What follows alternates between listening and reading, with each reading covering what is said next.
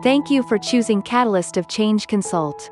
Like, subscribe, and hit the, the notification bell to get more updates when tutorials are uploaded on our channel.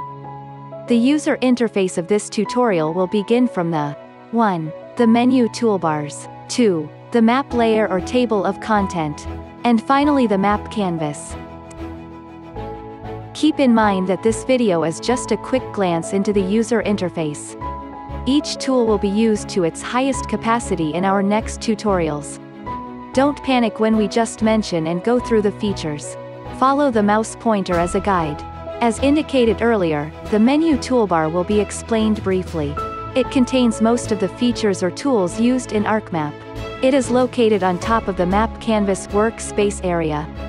Tools such as File, Edit, Bookmark, Insert, Customize, Save as, New, Catalog, Search, Arc toolbar are located in the menu toolbar.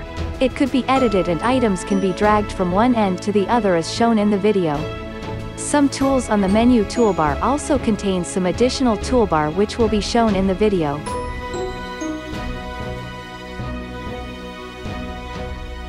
As the mouse pointer is going through the features, just get familiar with its locations.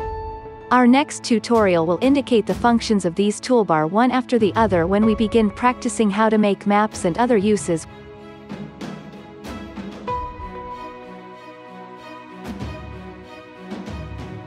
Furthermore, where the mouse pointer is located is where we call the table of content or map layer.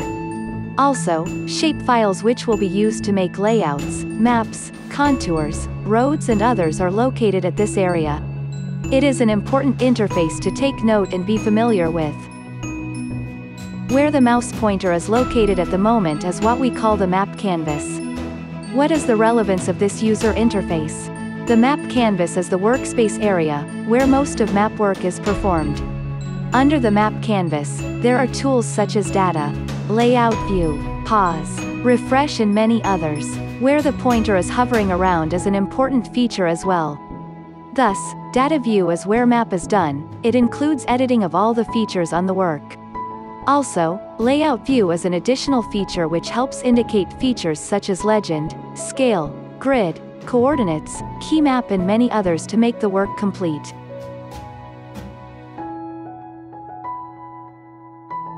Thank you for watching. How to make simple maps and other layouts will be taught subsequently.